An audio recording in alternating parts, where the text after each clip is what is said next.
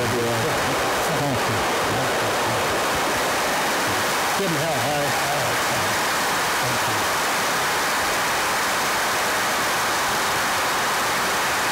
Well, thank you. Thank you, my dear and old friend, and a dear friend and a great American patriot, and a person who epitomized the best that I have known in the United States Senate. You know, they, that old line about if you want a friend in Washington, go out and buy a dog. Uh, well, this is my friend and was my friend for easily 30 years. And speaking of that, if you'll allow me to part just for a second, uh, there's one person here who has been a hero of mine for many, many years, and that is the first American POW, Everett Alvarez, who was there for eight years. Everett, to you here?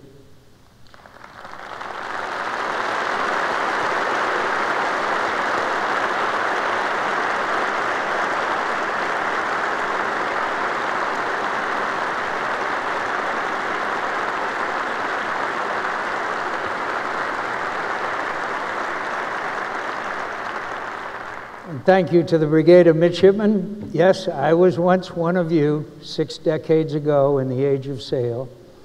I was, I was an undistinguished member of the class of 1958.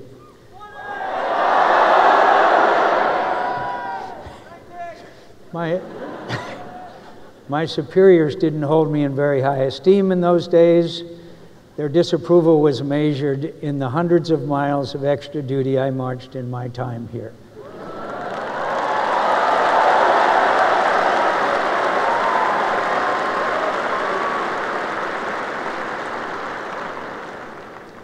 Since you are not easily fooled, I have to tell you, to be honest, I wasn't too thrilled to be here back then.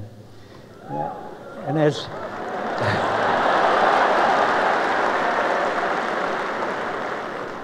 and I was as relieved to graduate fifth from the bottom of my class as the Naval, as the Naval Academy was to see me go. I wasn't the first or last midshipman to have had a complicated relationship with this place, but I realized a little later in life that I had underestimated the effectiveness of my education here. I hadn't fully appreciated all that the Academy was trying to teach me.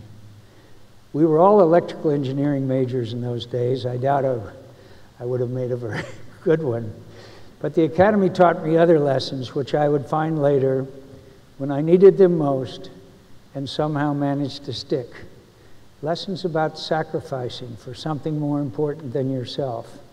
Lessons about courage and humility, about fr friendship, about the meaning and responsibilities of honor. My appreciation for those lessons, for the friendships I made here, bring me back often. So does my gratitude for the life of adventure the Naval Academy prepared me for, for the privilege of being a bit player in the story of America that the Navy made possible. I grew up in, in eventful times, and I've served in eventful times. I've seen America become a more just and prosperous country coming ever closer to the ideals set down by our founders. I've seen America organize and lead an international order based on liberty, mutual security, free markets, and the rule of law that liberated millions upon millions from tyranny and poverty. But we need only look back upon my own lifetime to understand how hard fought those victories were. My friends, I was born in 1936.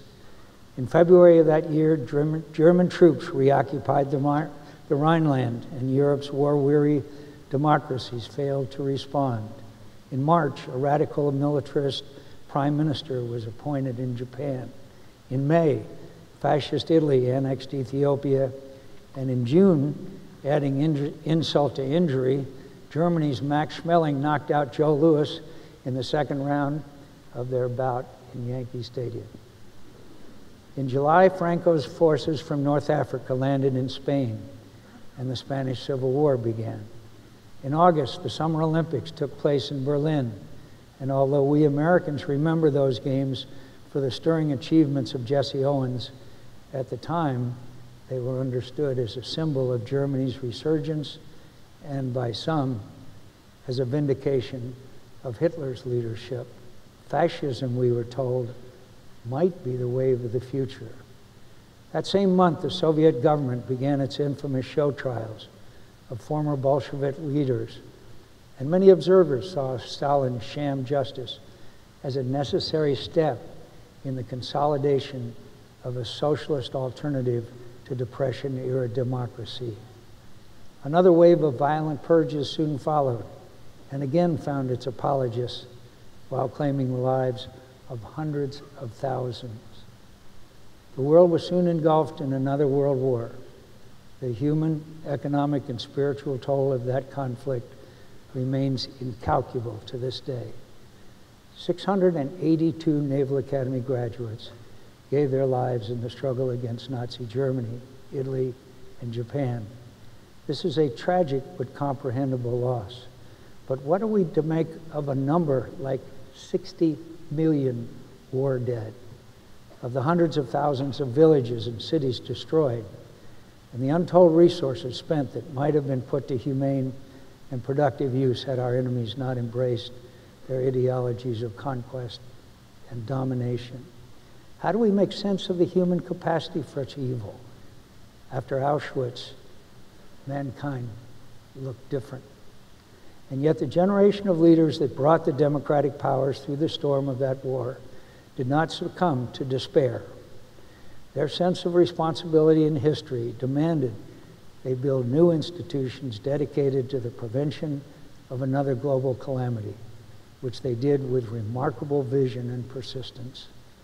The statesmen who built the successful liberal international law order after World War II grasped three basic truths First, that tyranny is always a threat to peace because it's an affront to all humanity's natural desire for freedom. Second, that liberal institutions are nevertheless fragile and must be affirmed with conviction at home and abroad. Third, that the American example and American leadership are indispensable to securing a peaceful and prosperous future. Our failure to remain engaged in Europe and enforce the hard won peace of 1918 had made that clear. There could be no more isolationism, no more tired resignation, no more America first. Fascism was defeated in 1945. Communism eventually succumbed after a long and costly Cold War. Containment, often through military means, was vitally important but ultimately, communism collapsed because Soviet tyranny could not meet the basic spiritual and material needs of its terrorized subjects, while the American example brought unprecedented happiness and prosperity to millions of ordinary people. As we wrestled to overcome injustices in our society, the Soviet system ossified and was sustained only by its propaganda and secret police. It couldn't prevail in the, in the global struggle for hearts and minds. Ronald Reagan understood this and had the moral confidence to affirm America's commitment to the spread of democracy. President George Herbert Walker Bush handled the collapse of communism in Europe with consummate skill. Under his stewardship, the basis for a lasting post Cold War order was firmly established a renewal of the liberal framework for international cooperation that we and our allies had erected in 1943. Who could have imagined in the depths of the Cold War that a collapsing Soviet Union, still a nuclear superpower, would peacefully accede to the reunification of Germany or to the independence of all its satellite states? And yet, it happened. But the contrast between the hopeful atmosphere of 1991 and the current circumstances of our world is a stark one. We have gone from an interval when the global success of democracy seemed assured for a time, to which the seduction, to which in which the seductions of authoritarian rule find favor with many. When self-interested seductions of authoritarian rule, leadership excuses naked aggression with weak rationalizations when ethnic grievances haunt the old and religious fanaticism fires the minds of the misguided young. How did we end up here? Why do many Americans ignore our moral and historical knowledge and seek escape from the world we've led so successfully? There are many wise answers to those questions. My own is we are asleep to the necessity of our worldship, uh, of our world leadership, and to the opportunities and real dangers of this world. We are asleep in our echo chambers, where our views are always affirmed and information that contradicts them is always fake.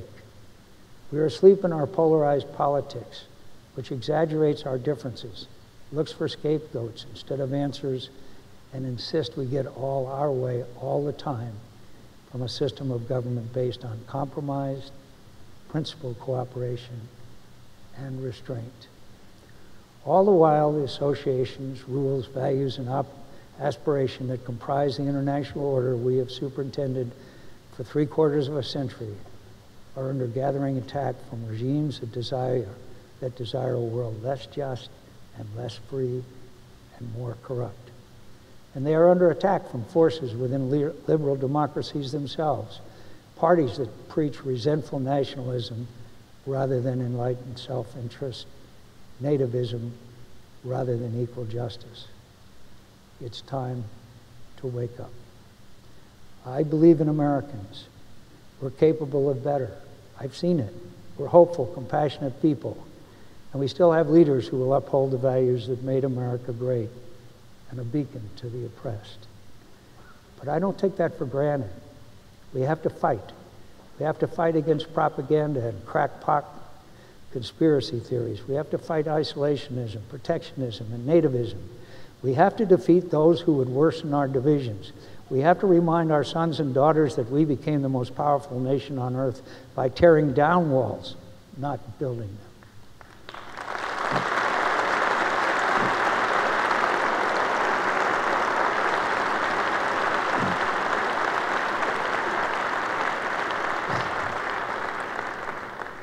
That isn't your job, not directly. It belongs to those of us who hold office and are responsible for making sure you're sent where you're needed and equipped and ready for your missions. You will be asked to defend America's interests overseas and thereby to defend the ideals that encompass and transcend those interests. You will protect the international order that American politics with all its inefficiencies and human frailties, has done so much to create. Many of you will risk everything for your country. You will make sacrifices for your fellow Americans who won't be asked to make sacrifices for you. That's your calling. Thank you for accepting it. I promise there will be compensations for the hard times you endure. You will have lives of adventure. You will have the best company, and you will know a satisfaction far more sublime than pleasure. I know that because I'm not the only McCain to have been prepared for that duty by the traditions and values imparted to me here and by the example of other better Americans who walked through these gates. My father was here, and his father before him. Like me, their standing was closer to the bottom than the top of their class. My son Jack is a nonconformist in the family. He managed to meet, he reached the upper half of his class, even to be a midshipman officer. But his forebears, the less accomplished midshipmen, nevertheless left here to devote the rest of their lives to our country in war and peace, good times and bad, and each of us considered himself to be the luckiest man on earth. I know what you will risk and what you will receive in return. I know America is lucky to have you, and that you will think yourselves lucky to serve America, even in the worst of times. And they come for most of us. You'll know that to serve this country is to serve its ideals. The ideals that consider every child on earth as made in the image of God and endowed with dignity and the rights to life, liberty, and the pursuit of happiness. It is a, it is a noble cause. It is your cause, and it's worth living and dying for.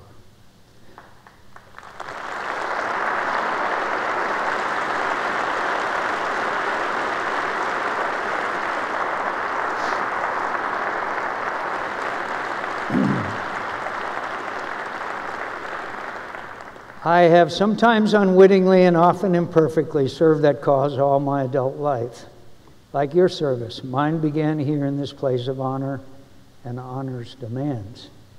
I arrived a rebel without a cause and left much the same. But I would discover that a sense of honor had been imparted to me here that would speak to me in the darkest hours. So I come back again and again to the place where I learned to dread dishonor, and from where I embarked on an eventful life in good company in the service of my country and its great cause. May your lives be as lucky as mine. Godspeed, Semper Fidelis, fair winds, and following seas. Thank you.